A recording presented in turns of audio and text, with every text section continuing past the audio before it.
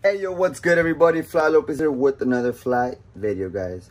I want to show you guys my little Pokemon collection which I will be selling now. i rather have the money guys, especially my account, you know, my wallet. Yeah, I think this is over a thousand.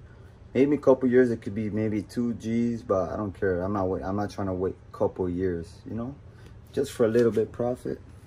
We'll see if I sell it, but I'm thinking of selling it, guys. Are you guys ready? Three, two, one. Boom. There it is, guys. So, got the Charizard here. Got the Charmander with the swirl. Someone tried buying off this with me for 50 bucks and I declined it. I don't know how much it's worth now. I'm gonna search it up. Three Vivid Voltage. One, two, three. Two Champion Path.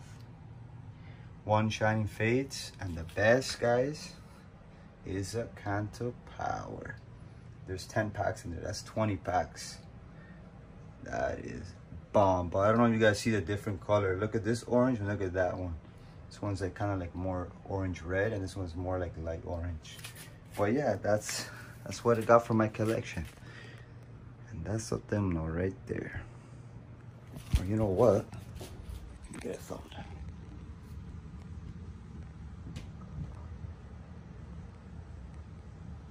Let's see you guys. I hope that thumbnail came out good. I'm gonna post right now because i haven't been i haven't been active guys. So you know what?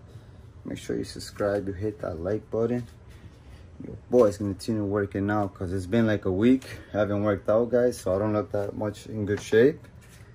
I have been eating more bad but it's all good guys. So because i'm working out right now i'm gonna post right now guys. Let me know if you guys if I should sell it or hold on to it for another year or two and see how much it goes up, guys. So leave a comment in the section below if you have any of those ETBs. Okay, guys, let's get this video to 20 likes.